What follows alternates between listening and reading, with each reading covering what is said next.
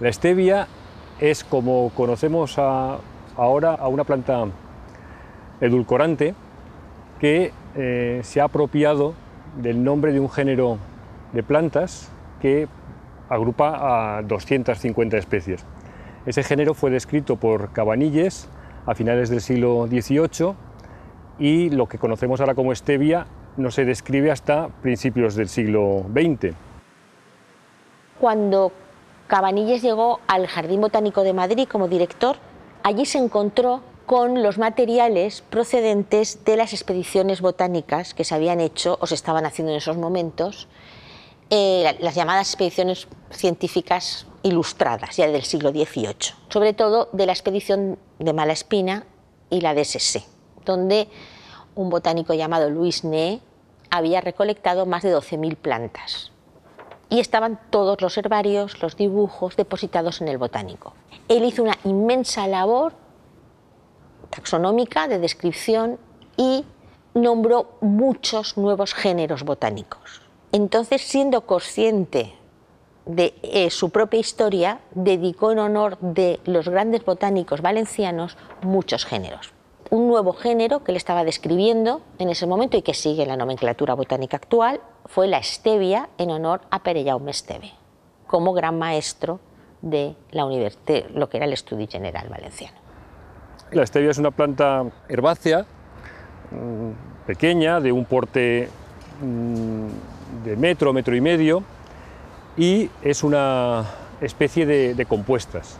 Las compuestas son la familia de las margaritas y se llaman compuestas porque las flores muy pequeñas se agrupan en lo que llamamos capítulos para formar una estructura que recuerda un poco a una flor, pero que si lo miramos con detalle vemos que está compuesto de varias flores que se reúnen ahí para hacerse atractivas a los insectos.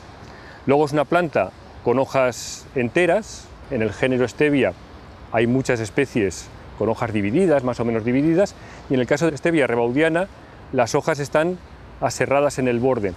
Y toda la planta es bastante glandulosa, bastante pegajosa.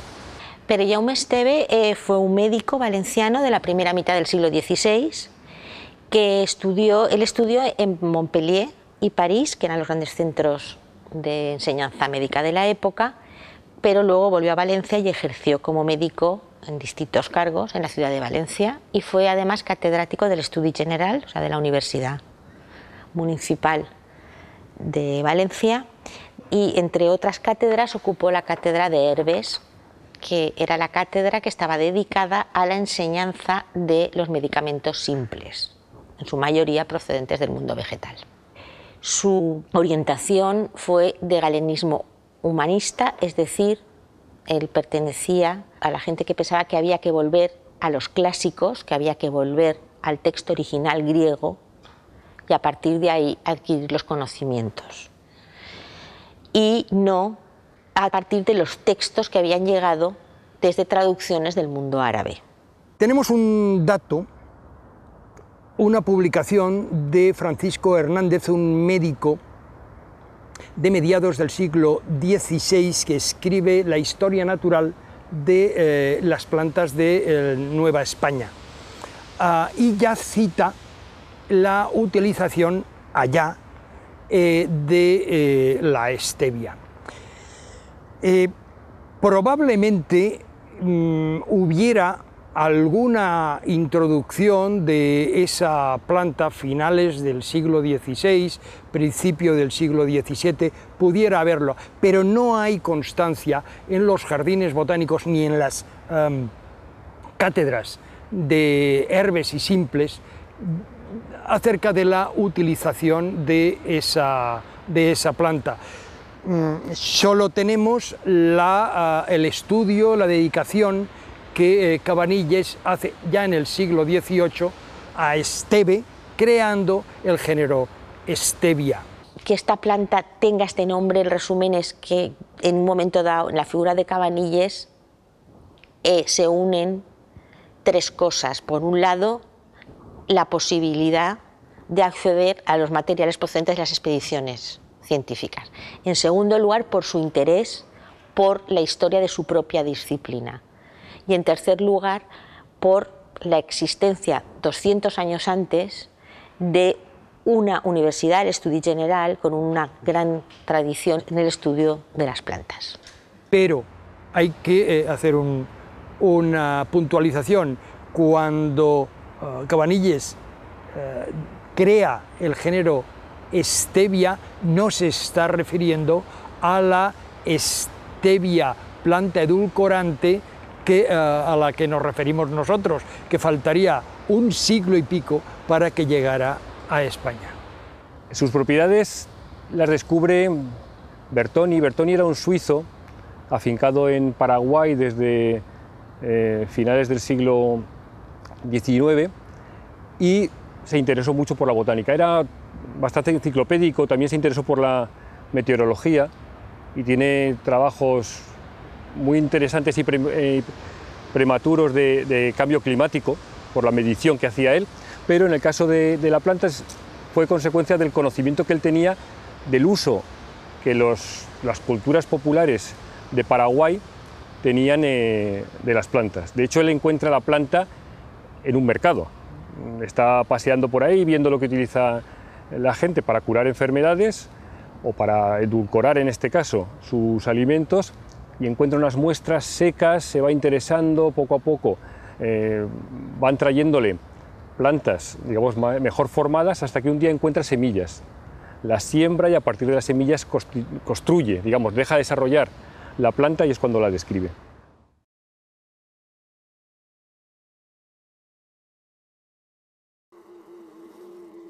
Durant molt de temps la, eh, la mel i fins a l'edat mitjana va ser l'únic edulcorant eh, que existia.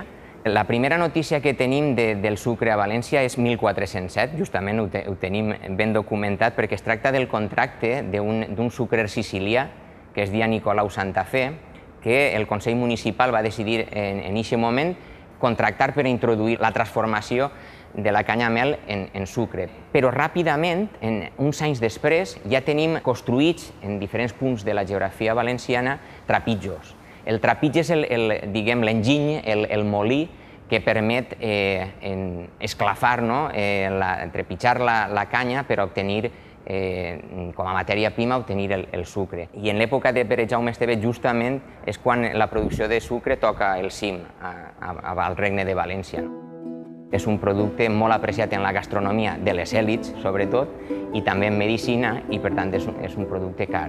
Cal tenir en compte que, per exemple, un litre de sucre podia costar el que costaven, per exemple, 12 quilos de carn, i que, eh, per exemple, un, un mestre artesà valencià haguera necessitat 3 o 4 jornals per a poder comprar això. Però a poc a poc va difonent-se el seu consum entre també les classes populars. Lògicament, si, si es volia eh, assolir una, una producció de, de sucre, calia la matèria prima, calia, primera, calia la canyamel. Hem de tenir en compte que va fer un llarguíssim trajecte des de la península d'Índia i Pèrsia fins a arribar a la zona mediterrània. Hi ha bàsicament dues raons que, que possibiliten això. Una és la coerció senyorial i una altra és el capital mercantil eh? les, les grans companyies que posen els seus diners eh, al servei d'aquesta producció. La zona eh, on es va polaritzar, on va triomfar eh, d'una forma massiva el conreu de la canyamel, la producció sucrera, va ser la Safor. Per què? Una qüestió important és la qüestió dels mudèjars i els moriscos. Esta mà d'obra estava concentrada en la Safor, mentre que a la resta de planes al·luvials havia estat expulsada eh, des de pràcticament eh, els inicis de la conquesta de Jaume I. En canvi, a, a este punt se conservaven senyories on els camperols eren musulmans. Els senyors feudals decidiren utilitzar la seva força per a exigir als seus vassalls eh, musulmans que necessàriament plantaren una part de les seues explotacions, però que a més a més d'aquest producte els en donaren la meitat i que a més eh, ixa canya anara necessàriament als molins que ells havien construït, als trapitxos que ells havien construït, perquè eren un monopoli senyorial, en la qual cosa el negoci és rodó. Encara que puga sorprendre, durant eh, molt de temps, els, els metges, els grans metges eh, que escrivien tractats que són molt, molt coneguts i, i han estat molt ben estudiats, en tots ells trobarem que el sucre és un element important per a preservar la salut per les seues per les propietats que té naturals o fins i tot per a eh, curar determinades malalties. Són els apotecaris els qui tenen sucre als seus obradors i el transformen en eh, medicaments o en confits. La fruita en si els metges la consideraven perniciosa per a la salut. Curiosament, avui això ens espanta, però era així. Eh, llavors, pensaven que quan eh, era tratada amb sucre, quan era confitada, era quan era adequada per a la salut paulatinament el que es troba és una desacceleració i finalment una desaparició final del segle XVII, principi del XVIII, el sucre ja no és, diguem-ne, una font eh, important per a l'economia valenciana.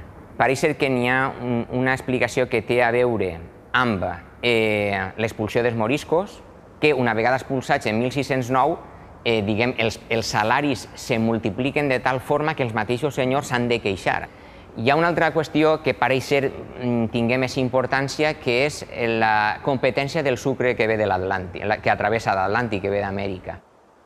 Fins l'arribada dels, dels eh, edulcorants artificials, que és una qüestió ja contemporània, el sucre eh, s'estabilitza com, com a l'edulcorant.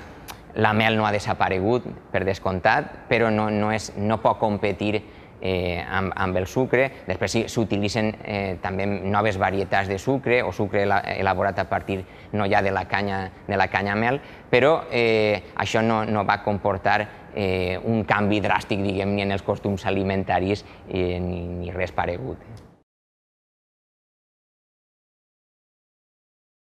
Els edulcorants artificials eh, comencen a desenvolupar-se a partir de finals del segle XIX Eh, el primer del que tenim coneixement és eh, la sacarina, que es desenvolupa eh, a partir de 1878, eh, se descobreix un poc eh, per casualitat en un laboratori de la John Hopkins University i eh, el que es veu és que és una substància que té una capacitat d'edulcorar fins a 300 o 500 vegades més que, eh, que el sucre.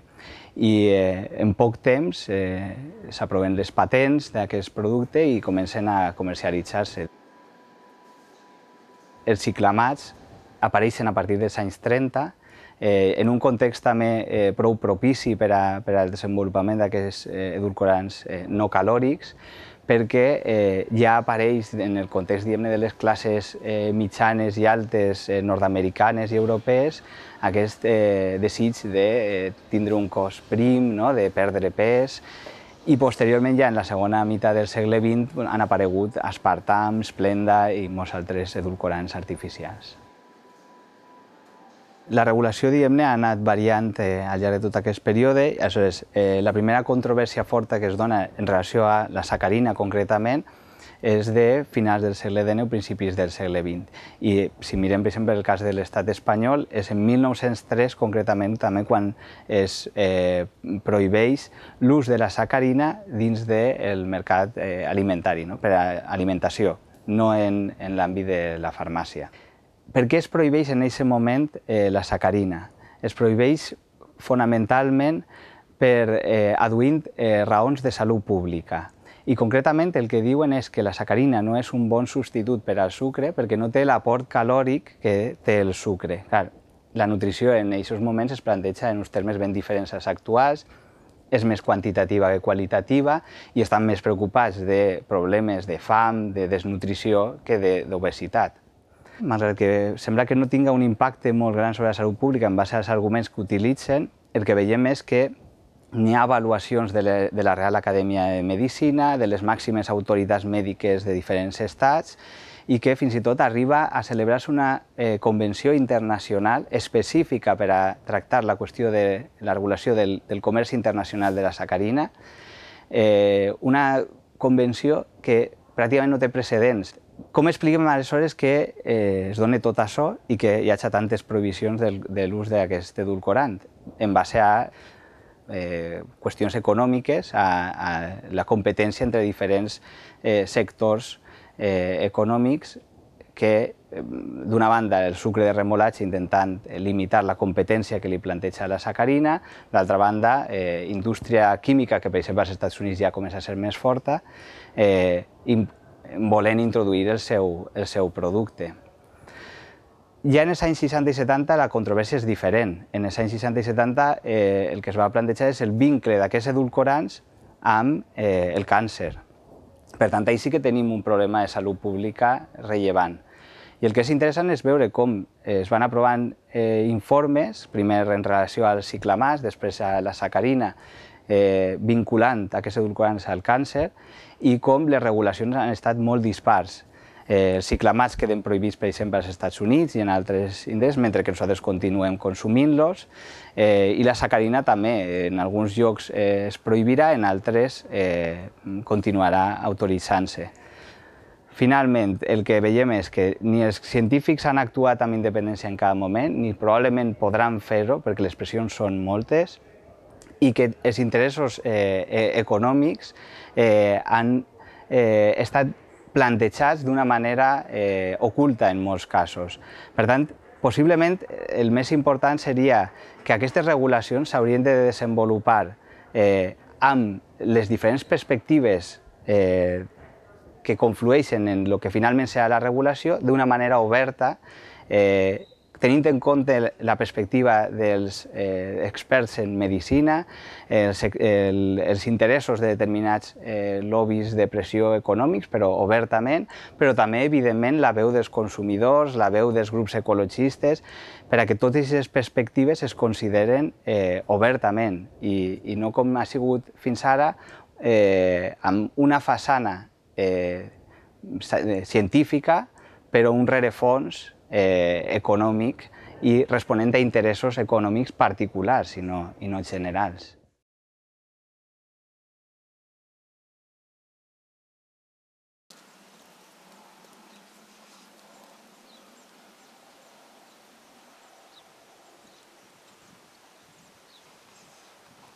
Nosotros hemos querido trabajar con, la, con, lo que era la planta originaria para ver todas sus propiedades, su aclimatación y sobre todo las posibilidades que teníamos para desarrollarla en, en nuestras tierras, eh, principalmente en las zonas eh, que recogieran mucha humedad y altas temperaturas, que concretamente en la comunidad valenciana nos hemos eh, centrado en la Marjal de Pego, aquí en la zona de, la Albufera, y ahora vamos a ver la experiencia en las zonas de la Marjal de Castellón. Eso exactamente es lo que estamos investigando ahora mismo, porque no, de normal no, la planta la suelen poner en tierras arcillosas y aquí en la zona del Perelló y de Mareín de Barraquetes suele haber campos con textura arenosa, entonces no sabemos cómo va a responder la planta y de eso se trata la investigación que estamos haciendo, una parte. Nosotros hemos trabajado a, a, eh, utilizando como materia prima la semilla de, de, la stevia criolla.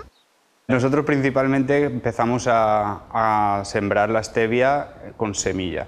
Lo que pasa que requiere unas condiciones muy específicas de temperatura y humedad, las cuales no podemos obtener aquí, entonces decidimos empezar a hacer la reproducción mediante esqueje. La cosa está yendo bastante bien.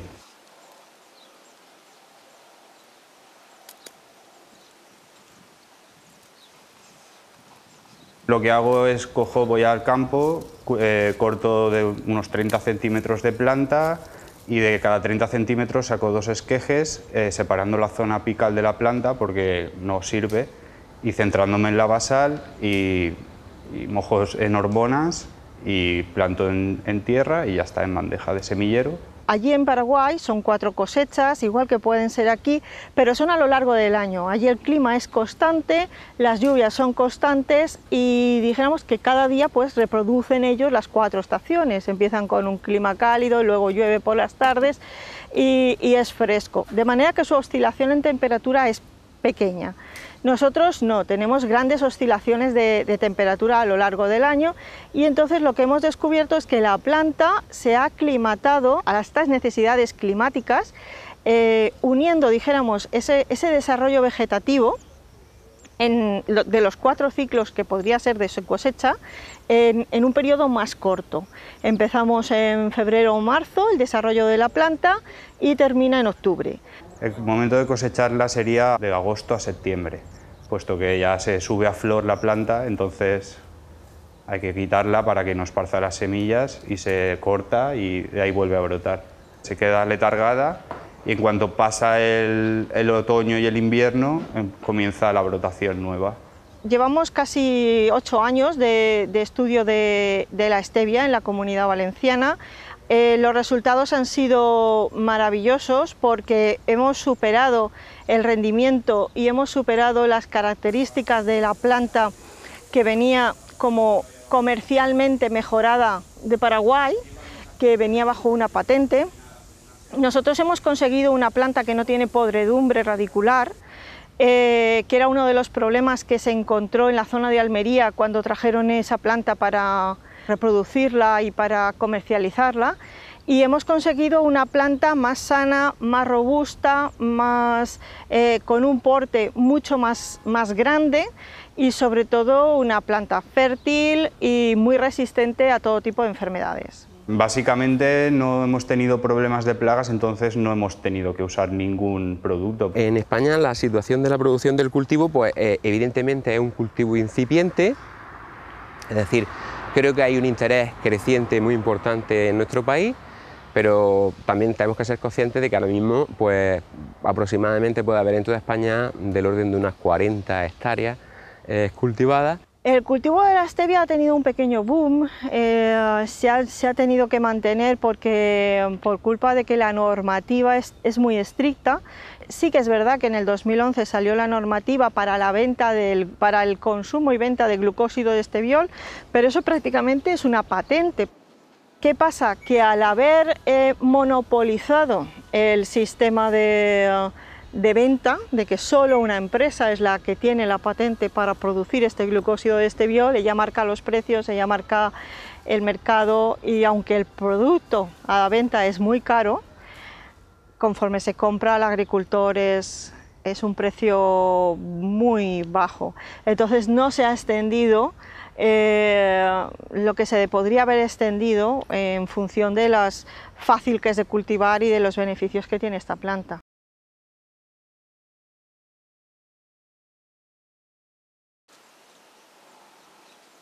La stevia principalmente se le conoce como el edulcorante cero calorías.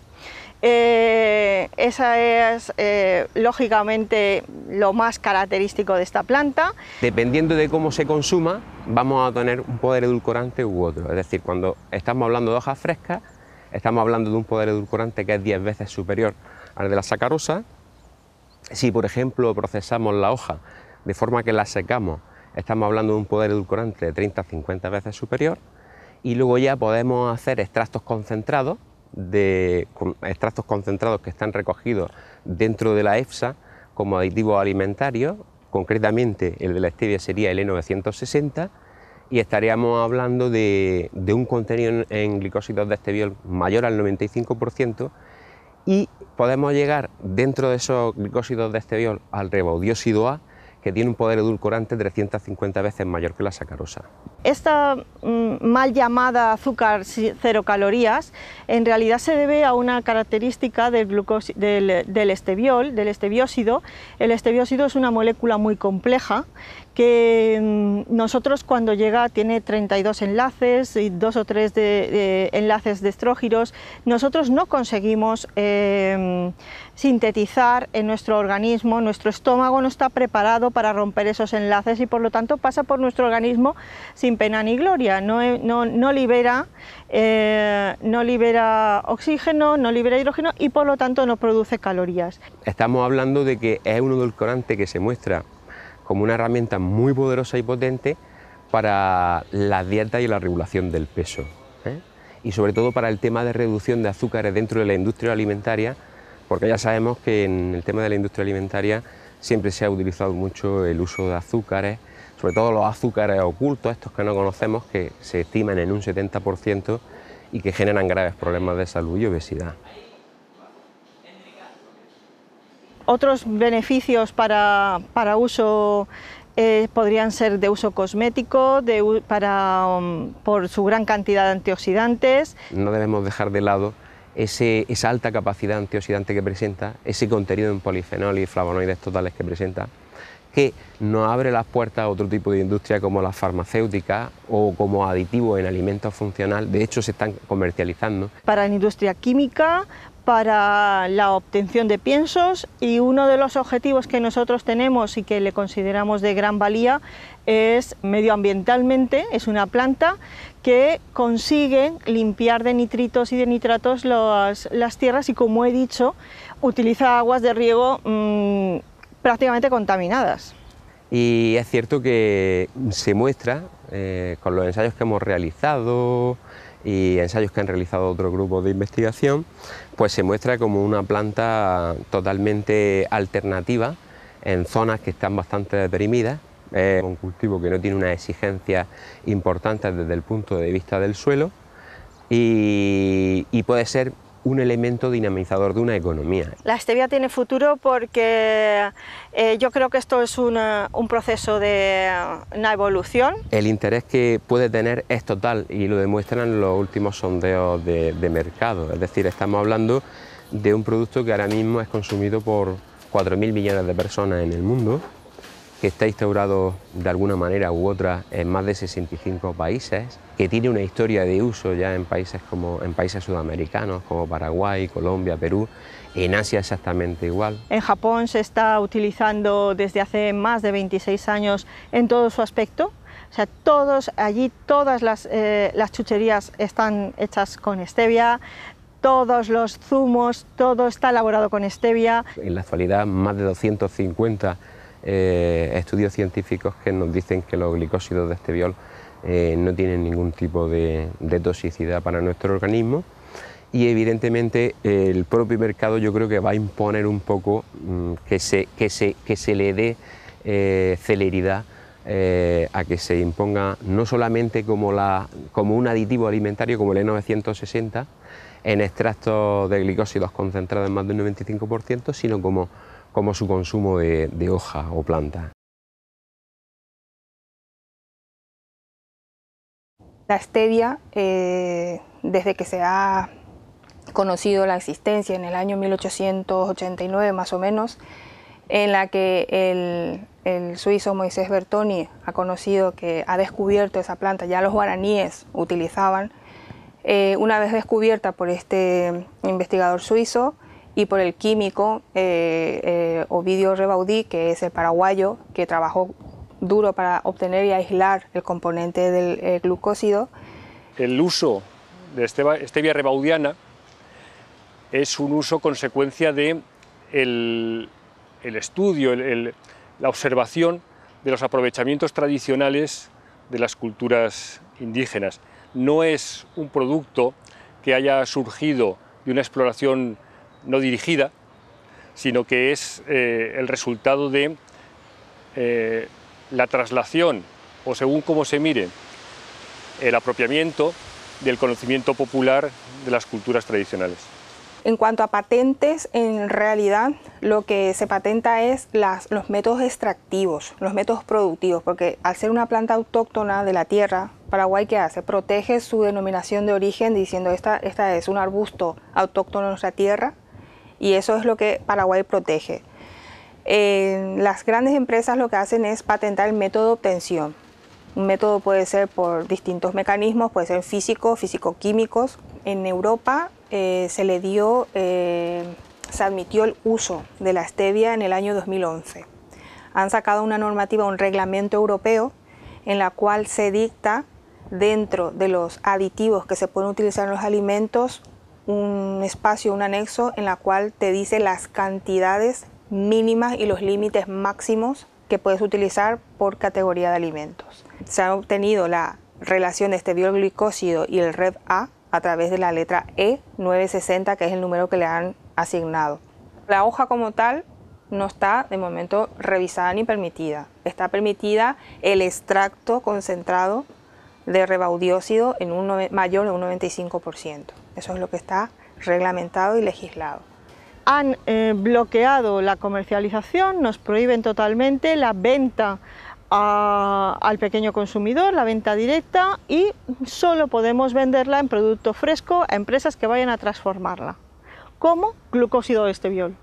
Nosaltres, com a productors, tenim una normativa fèrrea, primer, primer que res per la salut de les persones, i té que ser així, i acabat per la sanitat de les plantes. Això té que ser així, no? Però també tenim que viure, no?, com a persones. I, clar, si això ho agarra qualsevol empresa, no estarem competint con en un llaurador d'un tercer país o d'un altre lloc. Estarem competint en una gran multinacional que està fent negoci d'aquest producte.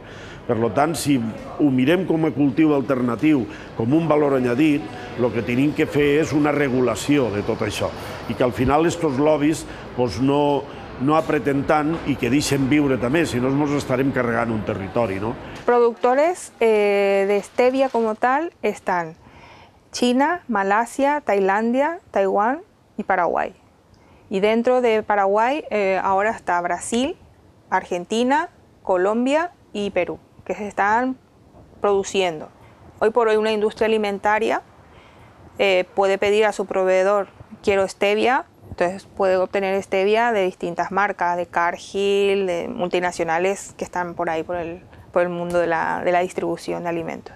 Los edulcorantes de mesa que hoy por hoy tenemos en, en el mercado son mezclas de... mm, Pocos son los que venden la stevia pura, pura pura por el hecho de que es un producto que necesita un vehículo para mezclarse, ya sea en la bebida o en el tipo de alimento que vas a utilizar.